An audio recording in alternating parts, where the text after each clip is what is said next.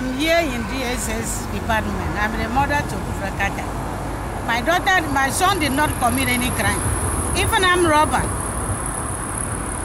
The uh, is permitted, the family is permitted to see even I'm robber in the cell. And see and see how he is doing.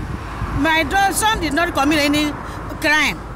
To my surprise, the governor of Akwa Ibom State authorized DSS not to allow me to see my son.